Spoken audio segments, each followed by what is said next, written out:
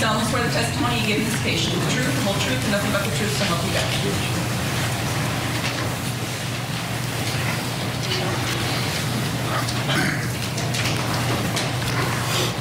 Just your microphone so it doesn't get close to right? There you go. Go ahead. Uh, Mr. Pickett, you have a very uh, low voice, and so I'm just going to ask you, um, would you state your name for the record, just so we can make sure we're hearing you okay? Uh, Sean Richard Pickett. Okay, that was very good, thank you. Uh, Maybe if you pull that microphone up a little bit, then you don't need to lean into it. It'll be a little more natural for you. Yeah.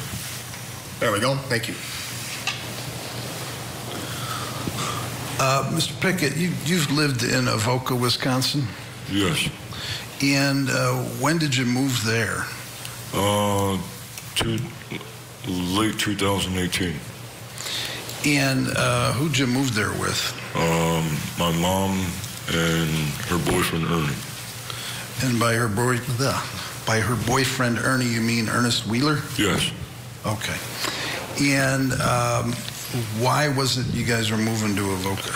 Um, my, my grandpa, her father passed away and we couldn't afford the house. Okay. And um, had Mr. Wheeler moved from Iowa right then, or had he been living with you at Grandpa's house? Uh, he was living with us at our at, at my grandpa's house for about two for about a month and a half. He he came from downtown Mineral Point. Okay. So your grandfather's house was in Mineral Point. Yes. And um, did you guys get Chico the dog right away when you moved in in 2018? No, uh, we got him in uh, early 2017. Okay, so you, he'd already been living with you. Yes. So you guys get him as a puppy. Yes. Four months old. Okay. So since Chico was four months old, he lived with you. Yes. And um, there was a time where you were just living alone in Avoca. When was that? I'd say uh, January to March of last year. Of 2021. Yes, about three and three and a half months. And um, when I say alone, though, the, the dog was still there with you. Yes. And you took care of the dog. Yes. You you get- you fed it. Yes. Where would you get the dog food? Uh, I'd, I'd order it from uh, from Chewy. You ordered it from what? From Chewy online. Okay, so you ordered it online. Yeah. And um, but you were living in the house. Yes. Okay. Um, because um, your neighbor said she had been a while, she, she thought the place had been abandoned. Um, but you were living there that whole time. Correct. Okay. And um, you would go buy food in Avoca, or how would you how would you get food? Yeah. Uh, I, I'd go and get the food uh, from the gas station. Okay, is that pretty much the only place to get food in Avoca? Yeah. They, they got two bars, but But like groceries, the only place you can get it is at the gas station. yes. We're talking about a gas station. We're not talking about a Kwik Trip or anything. It's just an old timey gas station. Uh, it's it's it's it's Kwik Trip. Yes. Oh, okay. Um, so, excuse me. Um, was there a time where um, Ernie and your mom returned? Yes. Do you remember when that was? Uh, probably uh, at the end of March, uh, March 20, 24th or 25th. Of 2021. Yes, last year. And your your mom stayed, but Ernie did not. Yes. And why was that? I confronted him with the, well, with uh, papers proving that he was a sex offender. Okay, and so he, he took offense at that confrontation, or Yes, my, and my mom told him to leave, and he left. Okay, and um, what was the plan going forward then? There was still a for sale sign in the yard. Uh, she, she she changed realtors because the last realtor wasn't he wasn't doing a good job, and she we found a new realtor and we're looking to sell the place and move out of state to Illinois. Move to Stateville, Illinois. Move out of state to Oh, Illinois. move out of state to Illinois, sorry. Um, Is there a particular reason why Illinois? Uh, just get out Wisconsin and uh, Illinois is cheap. Okay. And so to be clear, on, on May 10th of 2020, when the house was not sold, No. it was just being uh, shown by a realtor Yes. To the extent people would come. Had people come to see the house? No, because it was uh, it was we, we just she just got a new realtor and uh, the realtor was still looking for people or waiting for phone calls. Okay, so it wasn't like there was an imminent move. You guys weren't going to move in a, in a near time. Uh, we, we were we were trying to uh, we were trying to get it done and sold within about four months. Okay. Four months from, from May. Yes. Okay. And um, getting closer to May 10th, though, were there, was there a time where you decided it was better to, to be out in the woods? Yes. And why was that? Uh, weren't getting along. Uh, there's there's been conflict for years. Uh, she didn't like me being around. Uh, we just weren't getting along.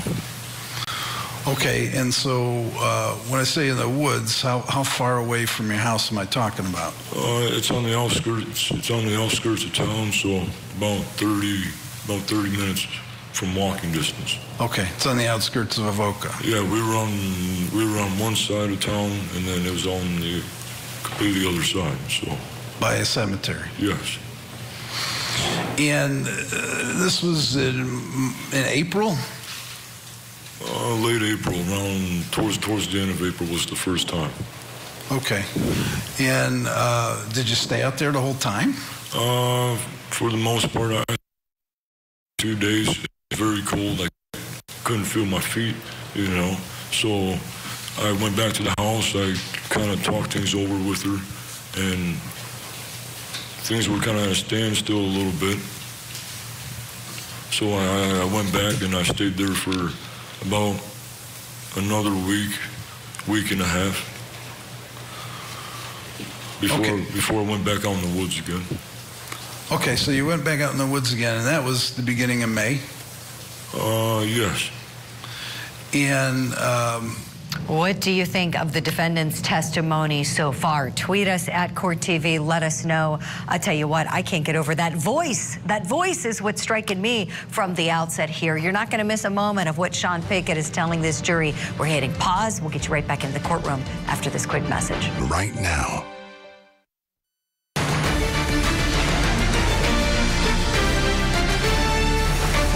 Welcome back to Court TV Live. I'm Julie Grant covering for Ashley Willcott this afternoon.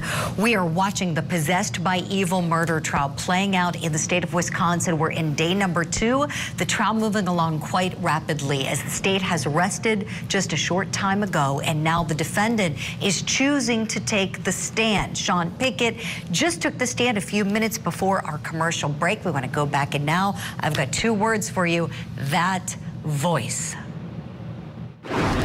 And what would you do with yourself? Would you walk around town or? Yeah, yes, I'd, I'd stay. I'd hang out in the woods for a while, and then uh, I'd walk around town. Every once in a while, I'd, I'd go and walk around town. Did you have like a cook stove out there? I mean, how would you eat? Uh, I brought I brought perishable food from the house. Okay.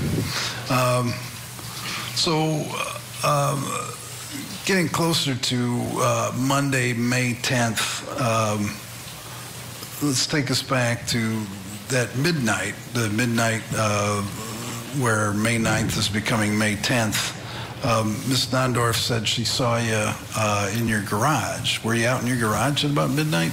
Um, yes, I was grabbing supplies. Okay, to take back to the woods. Yes, And so, is that what you did? yes. And um, and then on Monday, May 10th, you, you woke up at what time? Or very early in the morning. And and what did you do? Uh, well, I, I, I went in town that day. I, I sat at the church, I believe, or yeah, Okay, nothing nothing special to start out the, the morning. no, At some point, though, you returned home. yes, And um, Mr. Gilbertson testified that he saw you that day around noon. Is that is that accurate? yes. And so you you went home. Did you get home? Were you there hours before or minutes before Mr. Gilbertson showed up? Uh, not, not, not, not too long. Uh, probably within maybe 10, 15, 20 minutes. Okay. And he um, he said um, the dog wasn't barking and you wouldn't come out. Was there anything unusual about that? Well, I'm, I'm not, I'm, I'm not really great friends with him, and uh, I was busy trying to make some food, so You were busy. What? I couldn't hear. Trying to make some food. trying to make some food. Okay. Yeah. So um, he came and wanted you to come outside, and you, you just didn't want to. Well, he, he didn't ask me to come outside. He asked to come inside. Oh, he asked to come in. Yes. Okay. And um, and he said, what? I said no. Uh, I said no. I'm, I, no. And uh, I told him that there was uh, some weird stuff going on. Uh, you know, my mom was acting funny with all the conflict, the tension, and it just it seemed very odd for him showing up like that because we're not friends. It was very unusual. Okay, you just didn't feel comfortable letting no, him in. no. Okay, so um, so he departs, right? Yes. After a few minutes, and then you just continue making food. Yes. Um, and and where's your mom while this is going on? Oh, she was in the bedroom. Had you had you seen her at all that day? Uh, yes. No, no, no, because she was she was sleeping at that time. Okay, was it typical of her to be sleeping at noon? Uh, it, it depends. I mean, sometimes she'll wake up at four in the morning. She'll start drinking. She'll pass out drunk. Wake up a few hours later, maybe start drinking again. So she she could have been passed out drunk or just went to sleep not too long ago. Okay, you didn't know. You just knew she wasn't out and about, and and the, she she stayed in the room that was farthest, I guess, west. Yes, the, room that they were found in, the room that it happened in. Yes. Okay, and so at this time the door was closed. Yes. Okay, so you you were making food, and then you you stayed there to eat it, or what what did you do? Uh, I let Chico outside, you know, make sure he had food, make sure he had water. I let him outside, made some food, I ate, and then I left.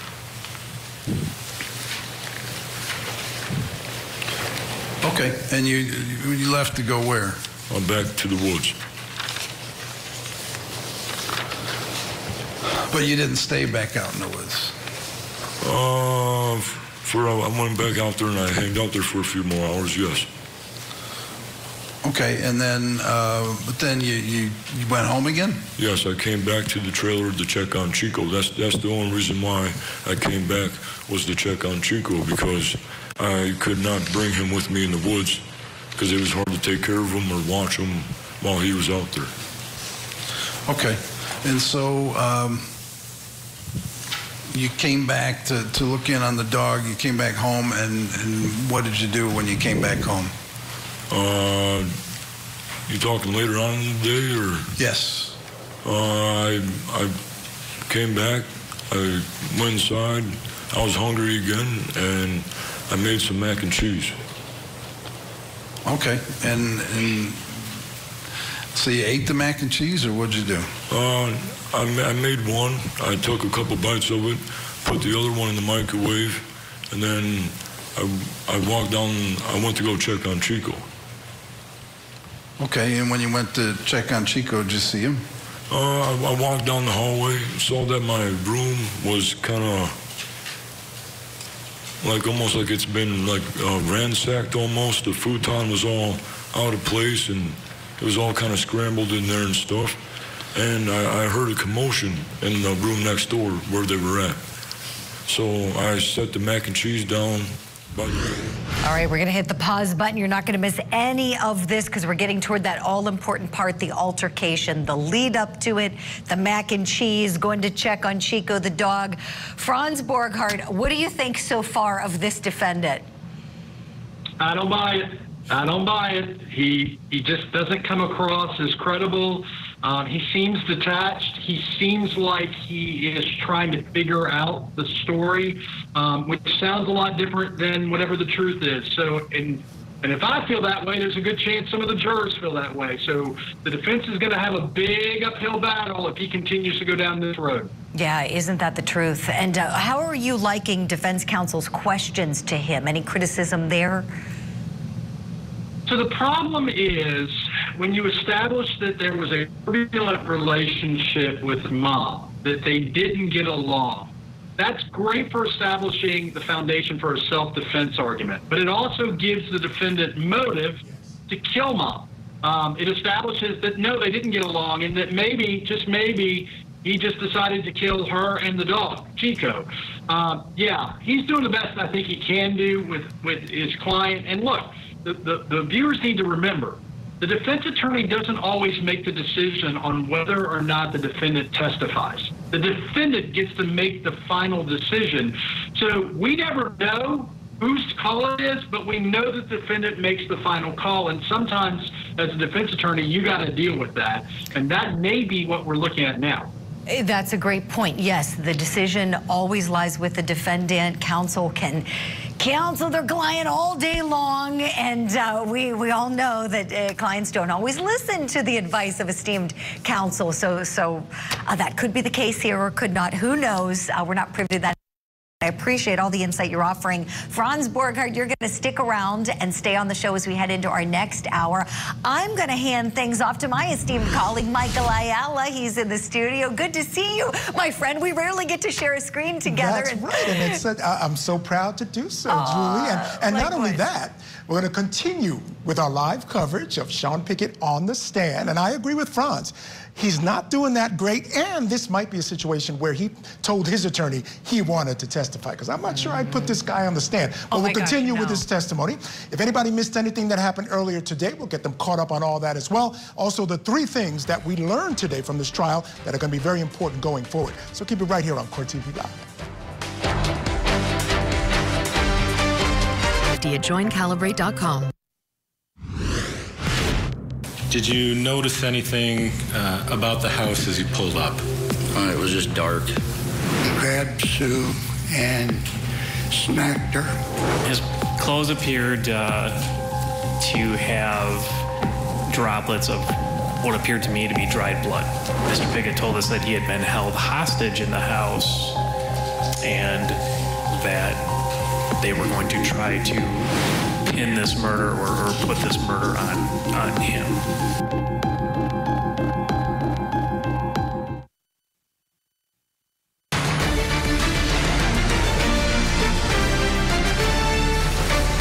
Testimony in the Possessed by Evil murder trial continues today with several witnesses taking the stand, including the defendant himself. Sean Pickett once claimed evil voices told him to kill his mom and his dog, but now he's claiming self-defense. Get you back inside that courtroom in Wisconsin for more testimony in just a minute. Plus, a verdict in the trial of Eric Holder. The jury found the defendant guilty in the shooting death of Nipsey Hussle. In the Superior Court of California, County of Los Angeles, Department 104, the people of the state of California versus Eric Ronald Holder Jr., case number BA 475908. We, the jury, in the above entitled action, find the defendant, Eric Ronald Holder Jr., guilty of the crime of first degree murder of Ermias Asghedom in violation of Penal Code Section 187, subsection A of felony, as charged in count one of the indictment. And we're still following the story of the woman who was on the run 43 days after being accused of killing pro cyclist Anna Moriah Wilson.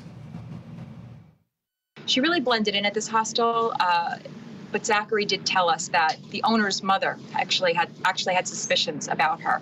Uh, when she was taken into custody by local authorities, she was freaked out. Uh, it was described to us, but she didn't seem to put up any resistance. It didn't seem from what we were told. I'm Michael Ayala in for Judge Ashley Willcott this hour, and this is Court TV Live. Now, we begin this hour of coverage in Wisconsin for the trial of Sean Pickett. The 21-year-old is accused of killing his dog and his mother at their home in Avoca, Wisconsin. Now, Pickett initially pled not guilty by reason of mental disease or defect, claiming that evil voices told him to kill his mother. But now, the defense is taking an approach of self-defense. Mr. Pickett acted in self-defense upon discovering um, his mother um, stabbing the dog, that when he confronted her with it, she turned upon him and was the object of her aggression. And very, you'll see it's a very small space. And you'll see, hear evidence that, that he had acted in self-defense upon this uh, confrontation. Things are moving fast in the trial. Today we heard testimony from the victim's boyfriend where he testified to witnessing prior abuse between Pickett and his mother Susan. You and Sean didn't get along terribly well, did you? No. Uh, did he at times also not get along well with his mother? Yes. Do you recall any instance in which Sean got physical with his mother? Yes. In particular, uh, do you recall an incident around Christmas of 2020 when Sean struck Susan at the dinner table? Yes. Overrule. Let's direct them to a uh, point, a, a topic. And what do you remember about that incident, Mr. Wheeler?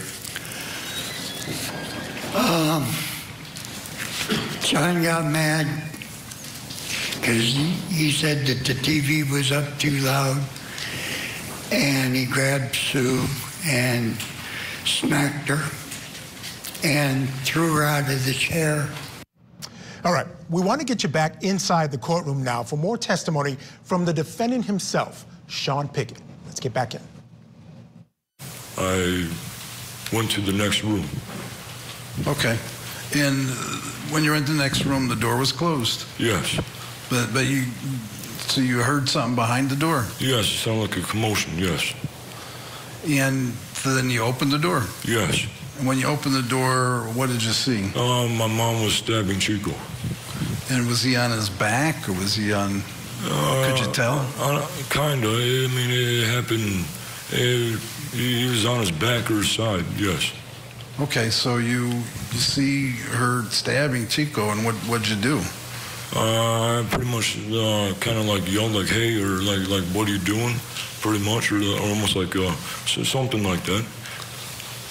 Ind- indistinctively, it's just natural instinct. Okay. And uh, when you yelled, "Hey, what are you doing?" Then what happened?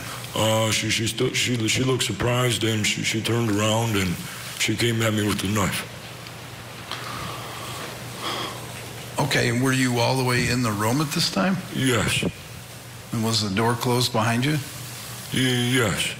I, I kind of, I kind of, I didn't like walk in. I opened the door and then I kind of like fast walked into the room. So almost kind of like ran in, but I didn't. Okay. And then you ran in and she came at you with a knife, and then what happened? Uh, we, we wrestled over control of the knife. We wrestled over control of the knife, and which is surprising because she was a small woman, but I was very malnourished at the same time. She was very strong. Uh, she, we wrestled and fought over control of the knife, and instinctively and naturally, I I got a hold of it once or twice, and we were still wrestling, and I just naturally stabbed her two times, I believe. Okay. To, to, to get her to stop attacking me, because she would not stop attacking me. And when you stabbed her twice, did she then stop attacking? No, she didn't even respond to it. She didn't respond. Did you, but you had gotten the knife away from her. Eh, somewhat, yes. Okay. So um, She was she was still she was still trying to grab it when I got somewhat control of it. She was still trying to grab the knife. Yes, from me. And that was when you stabbed her? Yes. And, um, and then subsequent to that, did you just leave the room then, or what happened? No, uh, we, we continued fighting, almost kind of like wrestling, and uh, she, we, we, we kind of tripped because the room is very small. She, we, she, she kind of like tripped over the bed a little bit, and the knife fell, and she fell for a second, and I seen that as my opportunity to go and get help, and I went towards the door. When you say you tripped over the bed, this wasn't a bed that was on a frame, was it? It was just a mattress laying on the It was- floor? It was just that big mattress, yes. And it wasn't like a mattress on top of a bo- box spring, it was just the mattress laying on the floor? Yes. Okay, so you, you tripped over that, and you both tripped over it? Yeah, pretty much. I, I, I kind of caught myself more than she did, so. Okay, and so you, you said that, you took that as your opportunity to leave? Yes. Why were you going to leave? Uh, call for get help. Uh, call the cops to get help. Okay, but uh, did you leave then? Uh, I, I, was- I, I got to the door, and as I got to the door, she was up and coming at me with the knife again. So she had recovered the knife? Yes. Had it fallen to the floor? It, it, it had fallen to the floor when, when we tripped, yes. Okay, so you saw her um, coming at you with the knife again? Yes. And then uh, what did you do? Well, the door, the door's right there, and you got this. Uh, you, the dresser was right there where the machete was on. Uh, her, her boyfriend likes swords and all that stuff, so so the metal bar was his. So it was already in the room. It was right there on the dresser. Beside the dresser, I just just naturally uh, she was coming at me with a knife, and it, it was just natural almost like na- was just natural instinct. I just instinctively grabbed the metal bar, kind of told her to stop, well, stop, uh, stop, and then I I swung. She didn't stop, and I swung the metal bar. And when you swung the metal bar, what happened? Uh, I, believe I connected. Uh, I believe it I hit her in somewhere in, in the head or somewhere. Okay, and, and then did she keep coming at you, or what happened? Oh, she she she she fell. She didn't get knocked. She didn't she didn't lay. She didn't fall on the floor, but she she kind of she kind of went down a little bit. Yes. She kind of what? She she kind of fell down, pretty much. And then as as she fell down, she was still trying to come at me and get up with the knife. So I ins- I instinctively hit her two or three more times. And then, uh, then she wasn't moving anymore? No. And so, um, did you then leave the room? Uh, no, I, went and checked on Chico, see if he was okay, see if he was breathing. It, it wasn't it wasn't a long time. It was just very quickly. I went and checked on him. Uh, he he wasn't moving, so I just I gave him a hug, and I, I got up. I left the room, and I, I called the cops. Okay. You called the kind uh, like a cell phone you had? Yes. And um, that was at, at 3:37 p.m. Is that right? I'm not sure. Okay, that's that's when the the, the it sounds right though, right? It was sometime in the afternoon. Yes. Okay. Um, then uh, subsequent to that, um, Officer Carey came. Do you recall what happened when when he came? Uh, I, I went outside. I was I was crying. I was very emotional. I went outside and I was still on the phone, and he, I think he might have pointed his, I think he might have had his gun out. Uh, he turned around. He told me to put my hands up, and he put me in, uh, put me in handcuffs. So uh, Chief Carey put you in handcuffs. Yes, protective custody, I guess you'd say. And then uh, did he put you in the squad car? Yes. Uh, still handcuffed. Still handcuffed. Uh, he had his uh, still handcuffed, and he turned the camera on in his in his uh, vehicle. Okay. And um, then he didn't stay with you. You were just left alone in the squad car. Yes, for about an hour, hour and a half. Okay, you were alone in the squad car for an hour, an hour and a half. Yes. handcuffed. And um,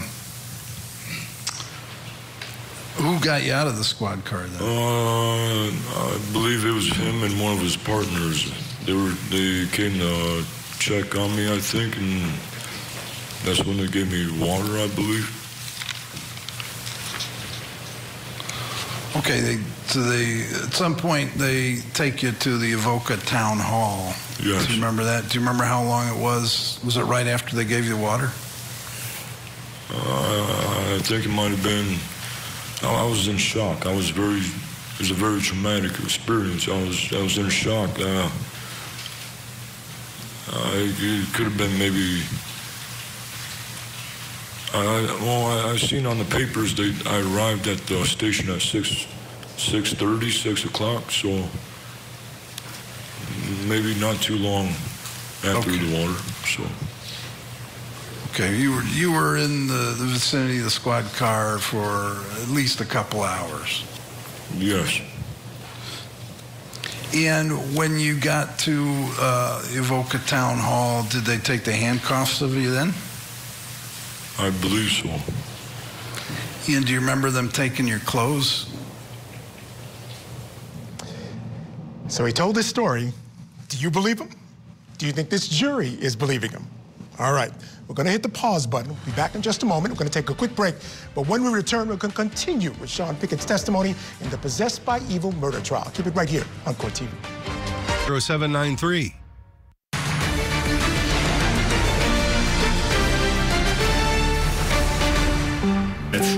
Not a complicated story. Chief Schramm pushed the door open. Uh, we observed a body on the floor. That he intentionally killed both his mother and his dog, stabbing Susan in the throat and striking her six to eight times with the metal bar, and hitting Chico with that same bar before stabbing him multiple times in the chest and throat. Sean will testify and put in evidence that Susan Pickett is dead. However, Sean acted in self-defense. All right, testimony in the trial of Sean Pickett continues. The 21 year old is accused of killing his mother, Susan, and their brown and white pit bull, Chico. Now, Pickett claimed he was going in and out of consciousness and possessed by evil voices when the killing occurred. That was originally. But defense attorney Jeffrey Everson says Pickett gave a false confession and acted in self defense after the defendant's mother killed their dog and then came after him. The case has been moving very quickly. The state rested earlier today after about a day and a half of testimony. The defense started their case. First person they called to the stand was the defendant himself. So let's get back, let's get you back into the courtroom for more of Sean Pickett's testimony. You remember all the things you said to them? No, I do not. Um,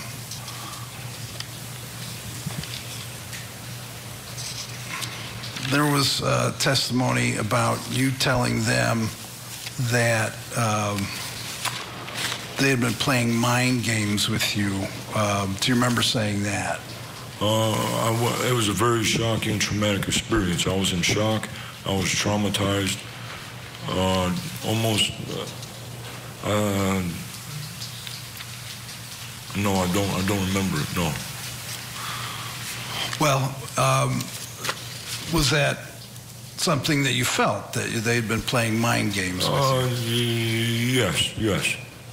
And what do you, what did you mean by that, and what do you mean by that now? Uh, mind games, are lying, manipulation, uh, psychological stuff like reverse psychology. Uh, you, there's there's many different forms of what you would call mind games. Pretty much lying and manipulating.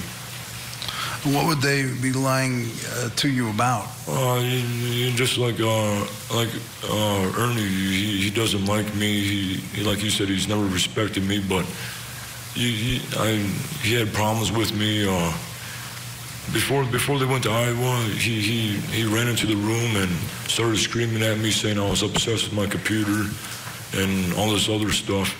So I, I knew they had problems, and that and that problem, and he felt like that for years, and that that created tension and conflict between us. And he was pretty much trying to turn my mom against me, and I was trying to warn and protect my mom, and she did not want to believe me because Ernie was manipulating her telling, pretty much making her believe that I was the one on boat, that I was the one creating problems, and it wasn't him. Okay. Uh, so you don't remember telling them about the mind games, but you felt they were playing mind games with you. They were, yes. Okay. And um, in terms of other things you said to those police officers, where you said that, that Ernie had kidnapped you and held you hostage, um, do you remember saying any of that? Uh, I, I do not. I, I, I, I know when I when I I know when I called the cops, I told them I was in the woods, like I was. I was in the woods and I came back. Uh, I, I know the first thing I told the investigators was as I was in the woods. Uh, I was I was very detached, almost from reality, almost being in such a, such a shocking, traumatic experience. Uh, when, when, when they asked me what day or time of the week it was, I didn't even know what day or time of the week it was. I didn't even know when my mom and Chico were murdered. So, no, I, I do not remember saying that. Okay. And uh, do you remember telling them that you, you hadn't slept in a long time? Yes, I was sleep deprived, yes. And so uh, when you told them you hadn't slept in a long time, that was accurate. Yes. And do you know how long it had been since you'd, you'd slept normally? Uh, it's not, not a lot. I didn't sleep much in a few days. You know, it's very cold outside. I was stressed out. I was I was worried. You know, uh, maybe a couple hours within a few days. Maybe like two days. Maybe just a, just a few hours. You know. When you uh, said you were um, wrestling with your mom for the knife, uh, you said she was strong. You said you were malnourished. What, what did you mean by that? Um, very malnourished. I, I didn't eat a lot. Uh, I pretty much scrounged for food, you know. As you see in the pictures, I was surprised myself. I looked very skinny, almost almost just as skinny as her. Uh, I was only 120 pounds at the time. When you say you had to scrounge for food, what do you mean? Uh, well, when, when they were in Iowa, I uh, made my own bread to survive pretty much with flour and water. So I even dumpster dived at one time. Even what? I even dumpster dived at one time. Oh, dumpster dive. Okay. There in Avoca? Yes. And um, you just referenced when they went to Iowa. Um, was that a surprise to you? Had you been prepared for them to go to Iowa? Uh, no, no. They were they were talking about it for months, months before it happened. Uh, when I when I went to jail over a fight that Ernie caused at 19, when I was 19 years old, he caused the fight. Uh, when I was in jail then, you know, Ernie manipulated and played mind games with my mom, making her believe that since he's from Iowa, that they can move down there and find jobs and live comfortably. And uh, when they when they went down there when I was 19, uh, they got robbed. Their their place got robbed, and they had to move back to Iowa, and they ended up in a bigger hole than what they were. So.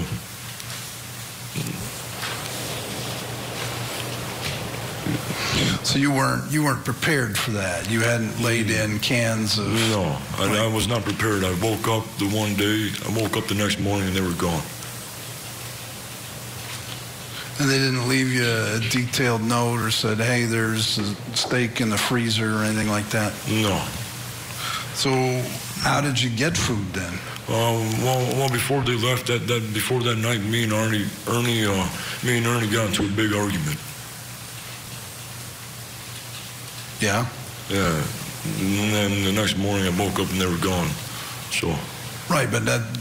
So like three days from then, how did you get food? Uh, I had I had uh, they they left some stuff like uh, spaghetti noodles and some cereal and stuff, and it was enough to last about a month. Okay, to be clear, they, they left Chico with you. All right, so the defendant there on the stand claiming that he was left alone by his mom and her boyfriend and he had to scrounge for food, even diving in dumpsters, excuse me, to find food at certain points. I do want to make a quick point, though. If you notice, there is a red light uh, shining against the wall. that's also partly on the face of the defendant. We're not doing that. That's actually an exit sign inside the courtroom. It has nothing to do with our cameras, nothing to do with what we're doing. Um, it's kind of unfortunate, actually, but at the end of the day, it's not something we're doing. Uh, so hopefully you don't think that uh, we're trying to editorialize in any way with that light. Again, it's an exit sign that's reflecting onto the wall and onto his face. All right, let me bring back in my guests for this hour. Uh, criminal defense attorneys Franz Borghardt and Matthew Mangino. Gino are with me. Both guys, uh, thank you so much for joining me this afternoon. Um, of course, the question of the day, and I'll, I'll start with you, Matthew because I kind of heard uh, what Franz thinks, but I want to get your take on, on how Sean Pickett is doing on the stand thus far. Well, it's always a risk to put your uh, client on the stand, and uh, it's a strategic decision that every defense attorney or defense team has to make. Um, you know, he has a, a flat affect. Um, he's not really impressive as a witness, let alone the fact that he's given multiple versions uh, of what occurred on that day. I- initially, uh, he was a hostage of uh, his stepfather, and then he heard voices and he was told to kill. And now he, he, he tells the jury that uh, his mother was stabbing uh, Chico, and and basically he was defending Chico, and then his mother attacked him, uh, and it's self-defense. So um, it, this is going to be a real struggle for the defense to to convince this jury that the defendant is a credible, believable witness. Yeah, Franz, you know, he makes perfect points. I mean, a couple of notes that I have essentially is that he, he basically is wrestling with mom, talking about mom, who's about 85 pounds, is really strong. That, that can happen, but she keeps coming after him after he stabs her. But then he doesn't explain how the dog got hit with a metal bar. There was also an injury on the dog regarding a metal bar. Doesn't talk about that, but he hits his mom with the metal bar. A lot of it's just not adding up for me, Franz. So in the physical evidence, and we've heard testimony about the physical evidence with the weapons that were collected. When those, when that testimony, when that evidence doesn't align, when his version of the story doesn't align with the physical evidence, that is a recipe for a conviction. Um, that is what he needs to explain on the stand. He needs to explain why is it that the dog had the had the had the uh, trauma wound? Why is it that his mother was a challenge to being overpowered? Powered? Why did he have to kill her? These are all things he has to answer, and the jury has to believe it. But quickly, let me ask you this, Matthew. I thought also once in opening statements, when they talked about the fact that the mother was attacking the dog, stabbing the dog, that they would have to come up with an explanation for that too. Um, why was she attacking the dog? Did she just have a psychotic break? And they never really explained that. He didn't have any sense of why that happened. I thought that might be a problem as well. Your thoughts? Well, I think it certainly is. I mean, th- that's a, a, question that the jury's going to ask. Why was she attacking the dog? Uh, you know, this was the family dog. Uh, obviously, uh, Sean had some affection for the dog, as he he says. So I'm, I'm sure that the family uh, uh, family did. But yeah, that leaves a gaping hole. There has to be some explanation. explanation. The jury wants to make sense of this, and, and unfortunately, uh, for the defendant, I don't think Sean Pickett is is helping them sort those questions out. There there are gaping holes that they've that are being left by his testimony and the jury's going to fill those on their own, and it's usually not good news for the defendant. No, it's not, unfortunately. All right, he's going to continue with his testimony on the stand. Again, we hit the pause button, folks, so we'll take you back in when we get back. After this break, of course, more testimony from the defendant, Sean Pickett. Save 15%.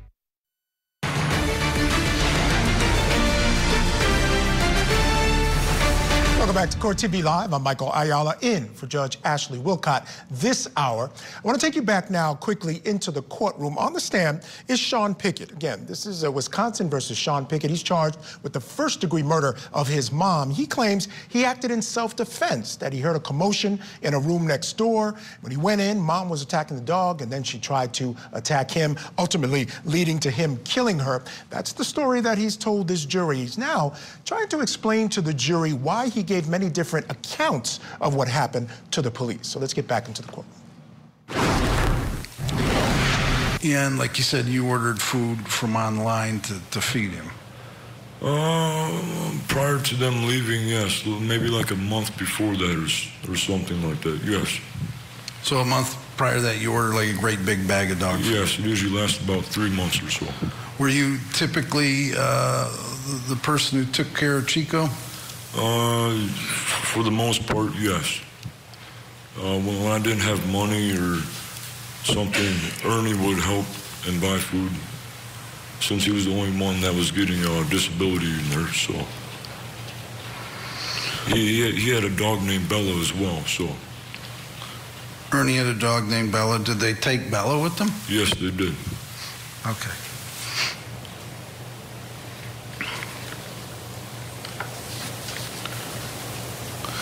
And uh, Miss Nondorf said um, she saw you after a couple of months. Um, had you, for those couple of months, been in the house, or had you been out in the woods? Uh, I was I was in the house. Okay. You just had like like blankets in the windows or something that she wouldn't see the lights. Uh, well, maybe she didn't pay attention that much. Uh, well, she testified that in near to May 10th, suddenly there was a blanket on your window. Um, how do you account for that? I'm not too sure. It didn't have any sort of special significance? No, there, there wasn't no blinds on the window, so. Okay. Um, in a lot of the rooms, there was a blanket on the window. Is that fair to say? Uh, yes. Yes, in the other room there was a blanket on the window. There was a sheet in the bedroom where my mom stayed. There was a there was a sheet over that window. Okay, and um,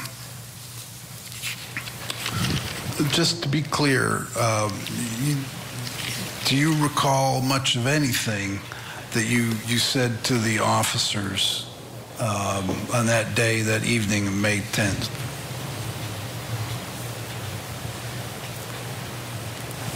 I was blacking in and out of consciousness. I told him that at one time. I was I told him I was blacking out in and out of consciousness. I told them at one point. Don't. I told them at the end of the at the end of the interrogation that I was hearing voices and they were telling me to say random things like being held hostage and supposedly uh, being dead. Okay, so you remember saying that? Some, yes, to a certain extent, yes. Okay. And um, you were saying that because that was descriptive of your mental state at the time? Well, pretty much. I was I was coming out of consciousness, and I come out for a few seconds, and I knew I was blacking out.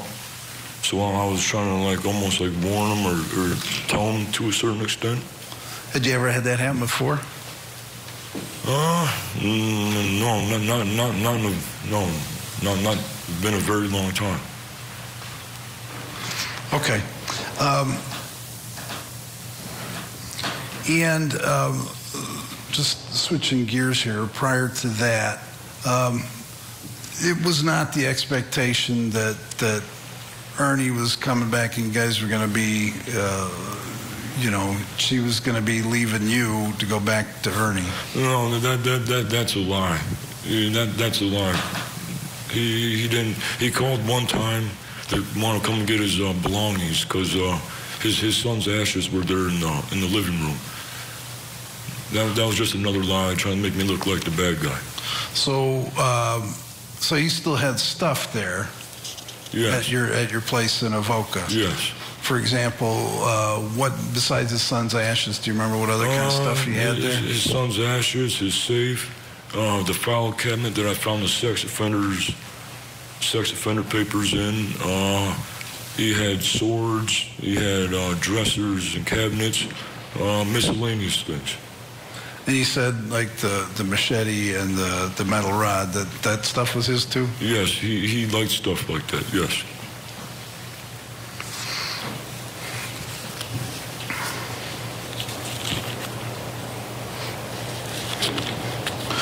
And, um, and if I asked you this already, I apologize. I don't think I have.